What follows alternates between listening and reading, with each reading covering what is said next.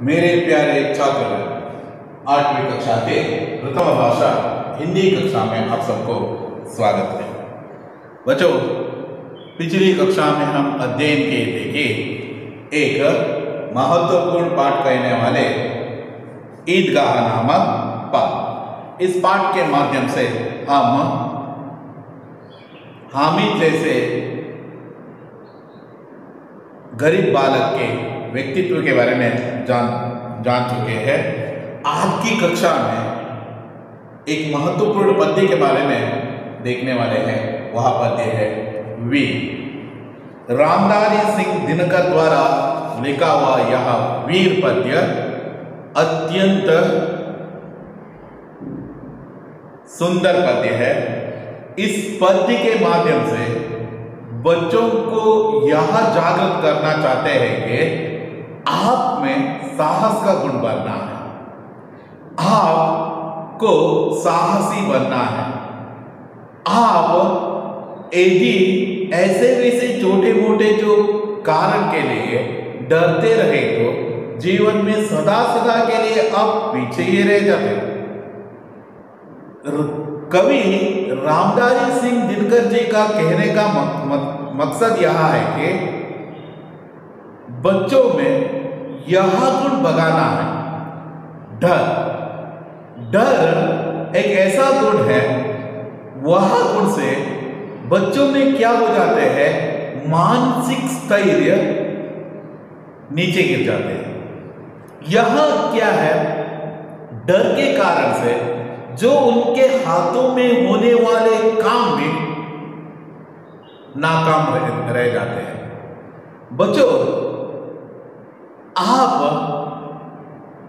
अपने जीवन में साहसिक प्रवृत्ति अपनाने की हार तो हर एक चीज़ में रहते हैं, हार से डरना नहीं है।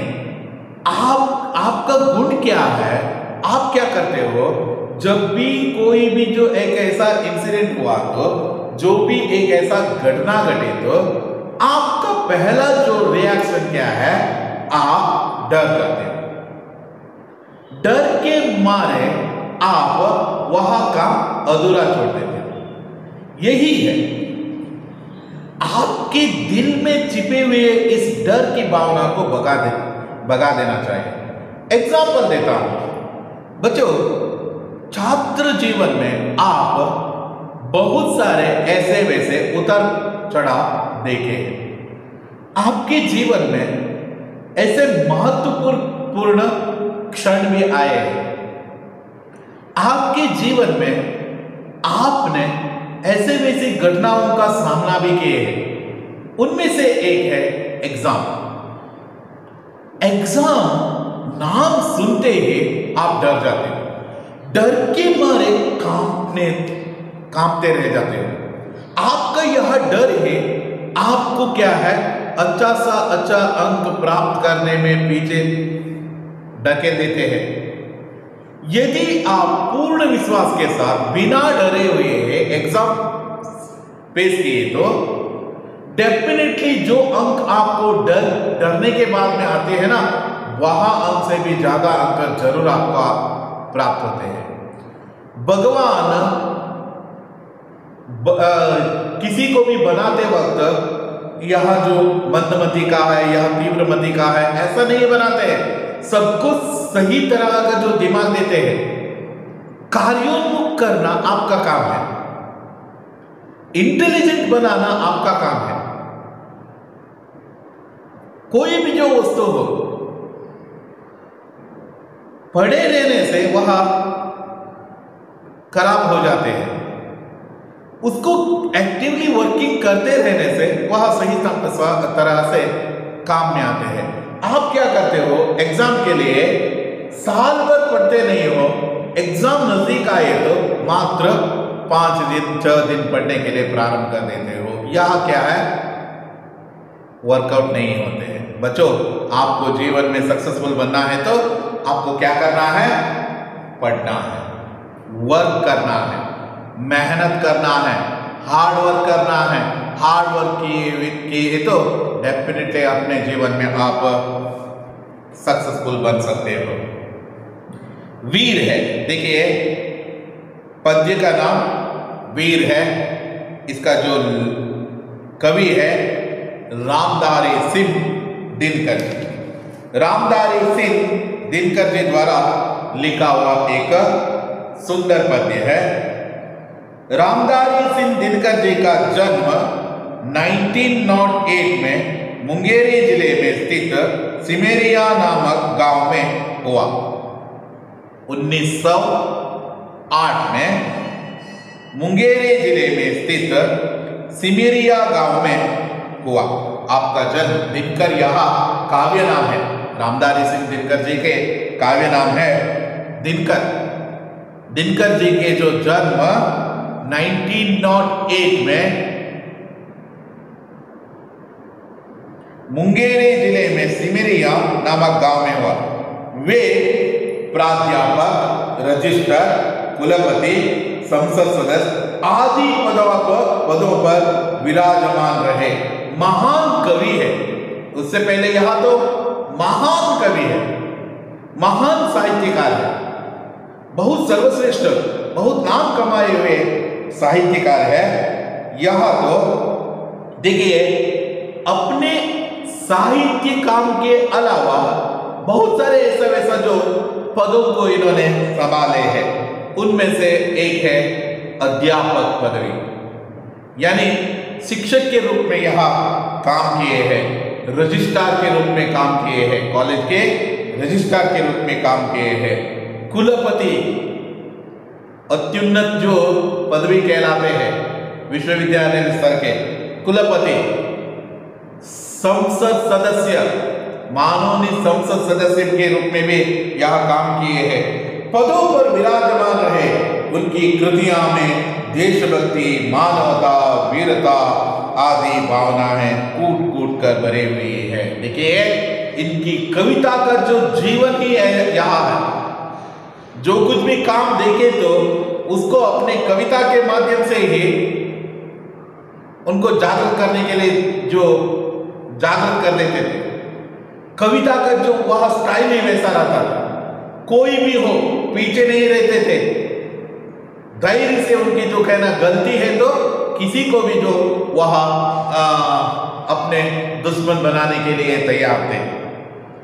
उनकी जो कविता में देशभक्ति का गुण रहता था, मानवीयता, मानवता ह्यूमैनिटी वीरता, जोश भरे हुए जो कहना, शूरवीर तरीके का जो प्रेरित करने वाले गुण भावनाएँ कूट कूट कर भरी हुई है।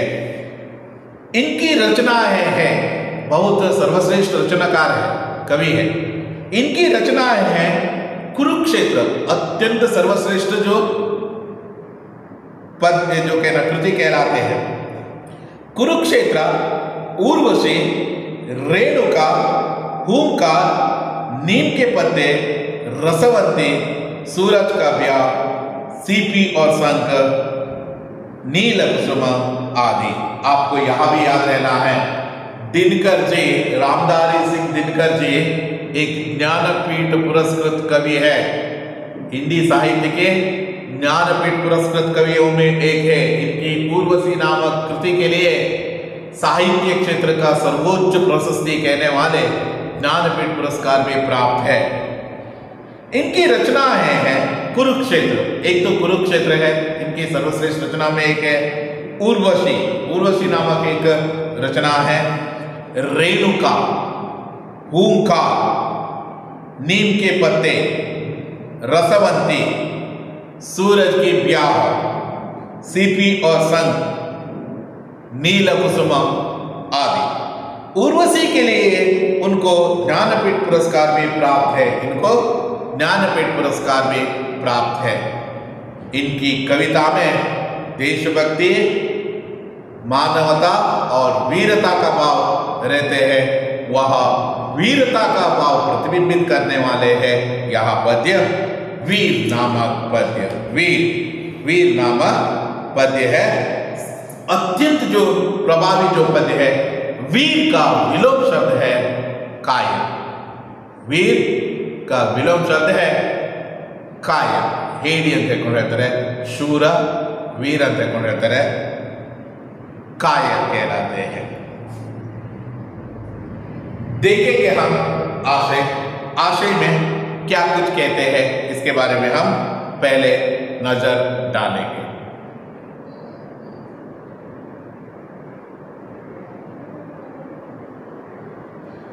जो वीर होते हैं वे किसी भी परिस्थिति में विचलित नहीं होते हैं।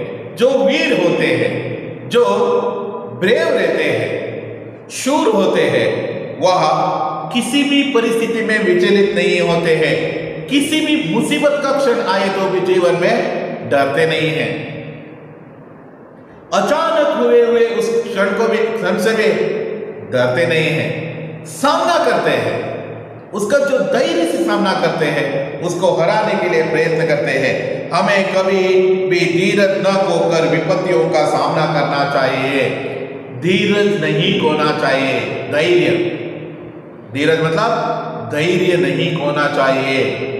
धैर्य खोए तो आपका सब कुछ विनाश है। हमें कभी भी धीरज न खोकर विपत्ति विपत्ति मतलब समस्या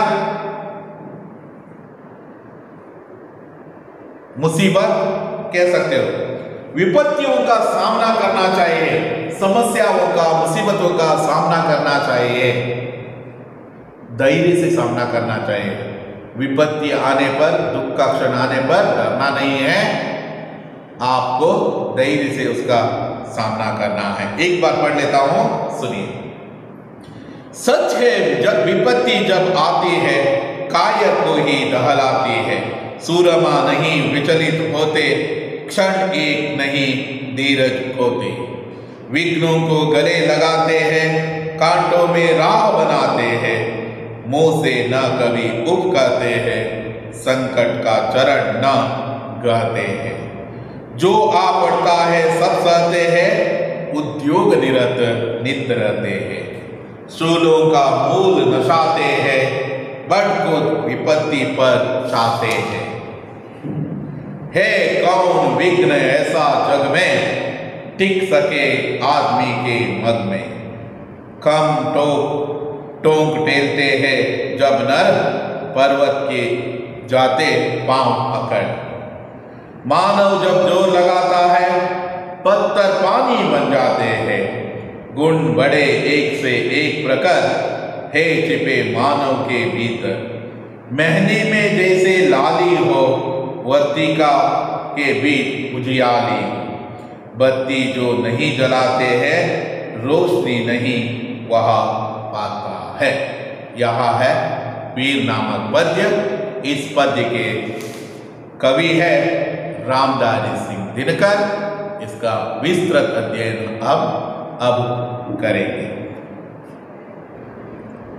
यह पद्य से आपको एक कंटस्ट करने के लिए एक प्यारा है और इसके साथ साथ आपको एक वाक्य में उत्तर लिखे यहाँ भी रहते हैं और साथ ही साथ ग्रामर संबंधी कुछ प्रश्न भी पूछने की संभावनीयता रहते हैं।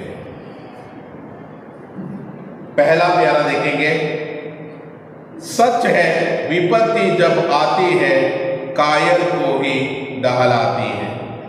सुरमा नहीं, विचलित होते, क्षण एक नहीं धीरज होते।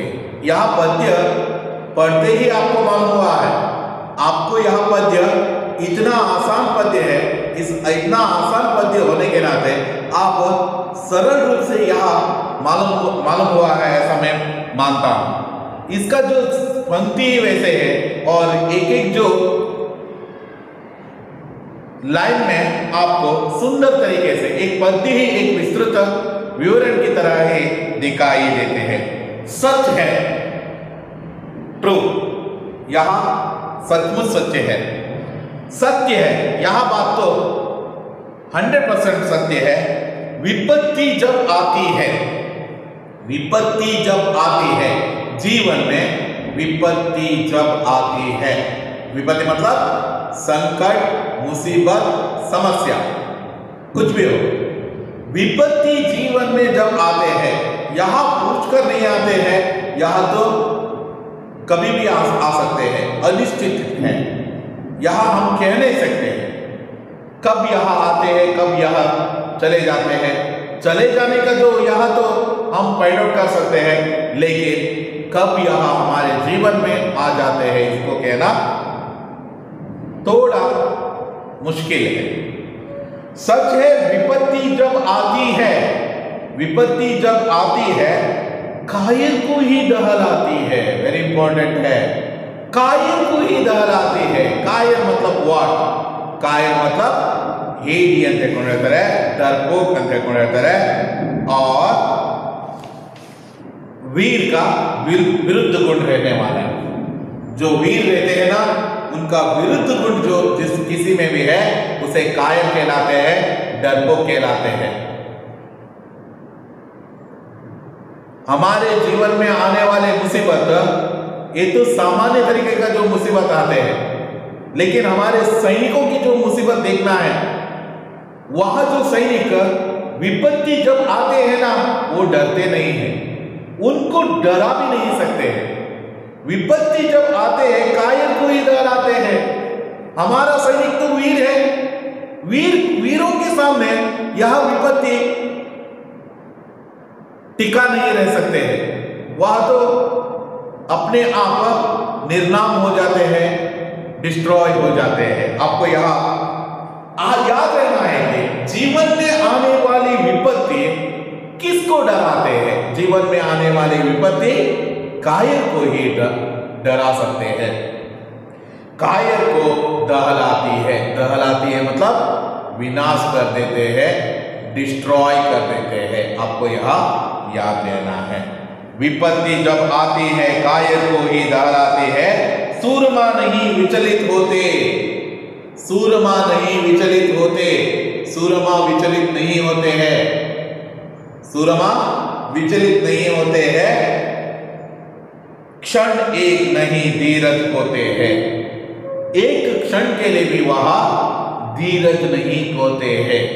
एक क्षण के लिए भी वह धीरज नहीं होते हैं। धीरज वह को नहीं सकते हैं। आपको यहाँ याद रहना है। सूरमा नहीं विचलित होते हैं। गुण देखिए यहाँ। कायर का गुण डरना है। वीर का गुण यह विपत्ति आए तो हँसते हँसते हुए उसे स्वीकार करते हैं। एक क्षण के लिए भी उसे विचलित नहीं कर सकते हैं। उसका कंसंट्रेशन छीन नहीं सकते आप। वीर का गुण ही वैसे रहते हैं, सूरमा का गुण ही वैसे रहते हैं। कायर का गुण, डरने का गुण है। आपको यहाँ भी याद रहना है। विपत्ति जब आते हैं, कायर को ये डराते हैं, सूरमा नहीं विचलित होते हैं। सूरमा विचलित नहीं होते हैं। सूरमा मतलब वीर कहलाते हैं, बहादुर कहलाते हैं और शूर कहलाते हैं। आपको यह याद रहना है। विपत्ति जब आते कायर को इधर आते, सूरमा नहीं विचलित होते हैं।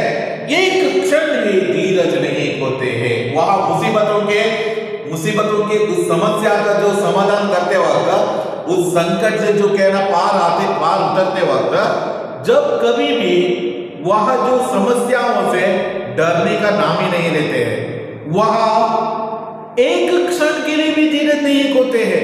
एक क्षण के लिए, एक समय के लिए भी मेरे हाथ से नहीं होगा, ऐसा नहीं कहते हैं।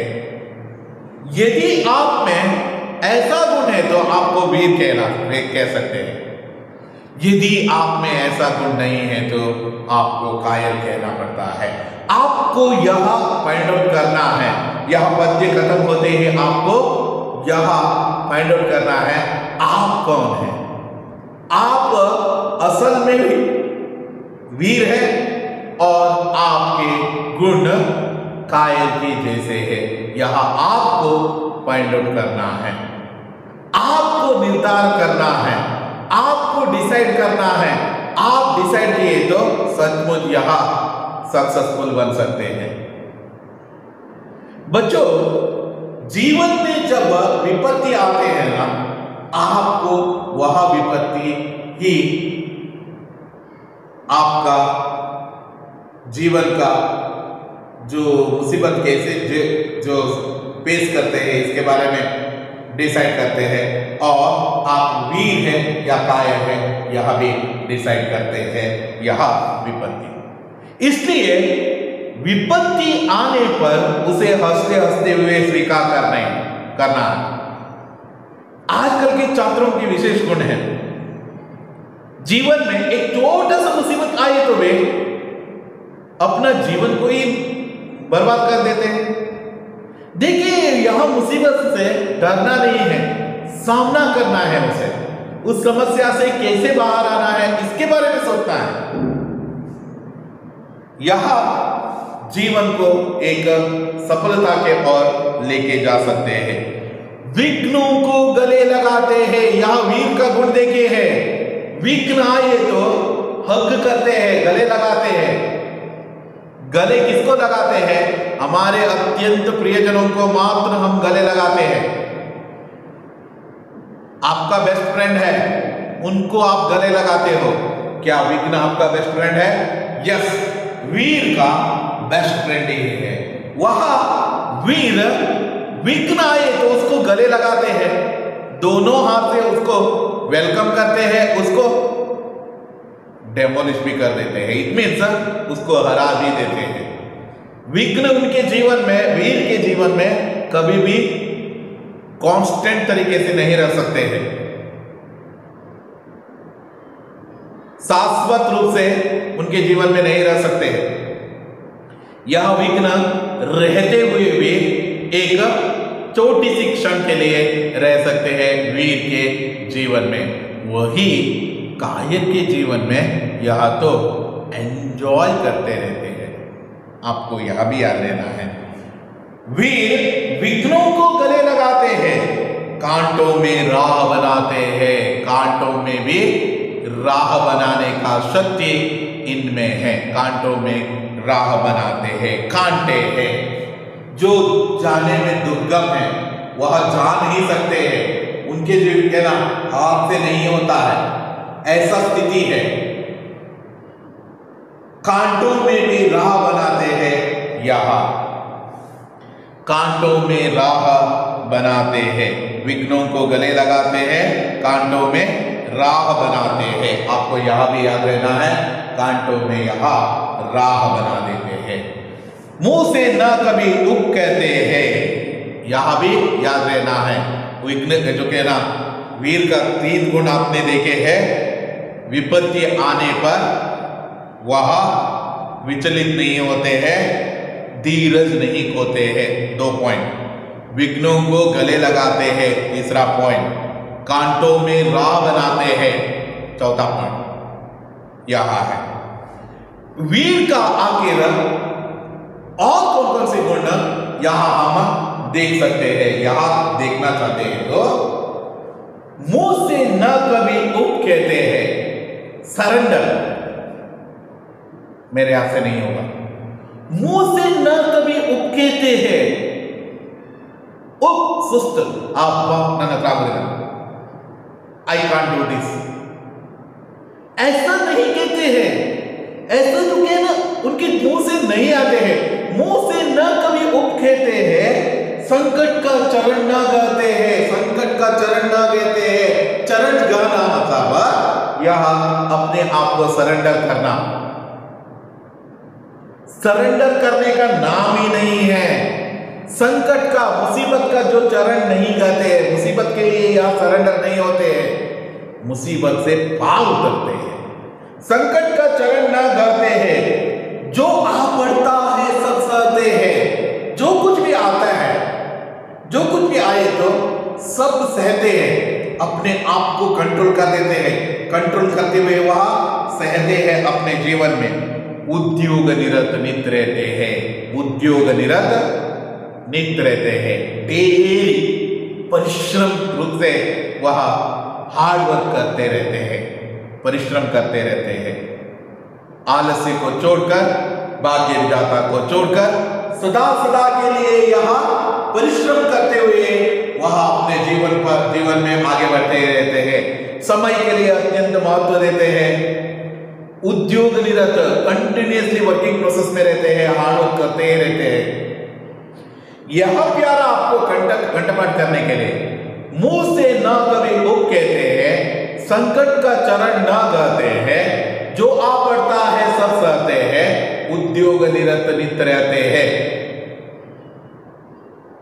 मतलब हुआ? यस ओके मुँह से ना कभी उप कहते हैं संकट का चरण न गाते हैं, जो आ पड़ता है सब सहते हैं, उद्योग निरत नित रहते हैं। यहाँ है कंठपट करने के लिए रहने वाले पद्य है। इस पद्य में आपको यदि डाउट है तो कक्षा में आप आते हैं ना, उस वक्त यहाँ, इसके बारे में आप पूछ सकते हो। यह एक और बात आपको कहना है तो एक और बात कहने के लिए मैं तैयार हूँ। आप मुझसे पूछ लीजिए कक्षा में, मैं आपका सभी समस्याओं को दूर करने के लिए प्रयत्न कर देता हूँ। बच्चों आज की कक्षा में हम इतना ही देखेंगे। अंतिम प्यारा आपको कंटस्ट करना है। देखिए, मुँह से ना कभी उप कहते हैं, संकट का चरण ना गाते हैं, जो आ पड़ता है सब सहते हैं, उद्योग निरत नित हैं। आज का अंतिम प्यारा, आज का अंतिम प्यारा का यह प्यारा आपको कंटस्थ करना है। बच्चों, आप सभी कंटस्थ कर कर रखने वाले यह आशा से आज की कक्षा यहाँ ही समाप्त कर देता हूँ। धन्यवाद।